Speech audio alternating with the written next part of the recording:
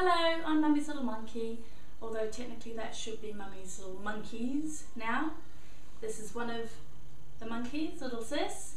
Big Sis is currently occupied with cartoons and uh, may or may not make an appearance at some point in these proceedings.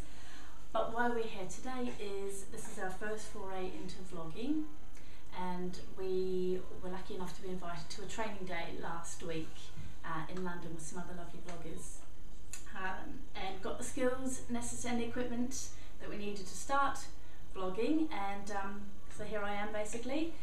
Um, I wasn't too keen on being on the other side of the camera to be honest at first but I'm always up for a new challenge however confronting it may be and uh, so I thought I'd give it a go. It seems to be the way that people are, um, are doing things increasingly and um, I always like to kind of uh, do something a bit new and interesting uh, whether or not it'll actually drive people away from my site rather than to it, we'll still got to wait and see. Yeah, what do you think of that? So anyway, we had a prompt for our first blog, which was, why do you blog?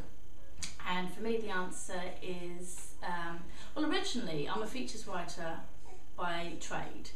And originally I was doing children's product reviews for another site, which then closed down. So I had all these reviews to do and nowhere to put them. And then a friend of mine suggested starting my own blog. And I kind of thought about it before, but didn't really know much about it.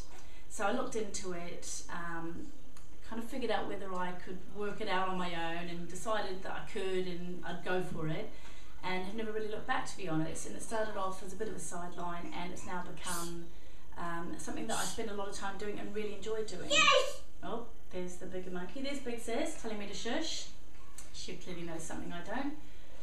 And uh, so anyway, so that's how I started out, and it's funny really because it's changed a lot since then. I um, originally did it with kind of a business mind, a business head on, and funnily enough, or not funnily enough, if you, if you know the world of blogging, um, I have met some fantastic people along the way, some really amazing women who do some fantastic blogs, some really inspirational, amazing blogs. And that now has actually become the reason why I blog, the people. I know it sounds a bit corny, but it is actually true. Um, there are just some really, really great people out there.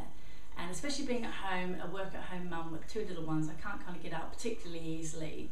So it's just, it's a really nice social thing and these women have become what I would class as friends it's nice to catch up with them on these training days or, or at the CyberMummy which is coming up, which I'm really looking forward to.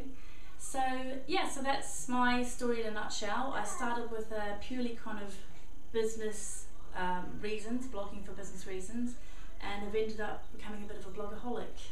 Um, so much so, I kind of find it hard to tear myself away from it at times, but that's not necessarily a bad thing, I don't think. So that's my story, and I hope I didn't bore you too much.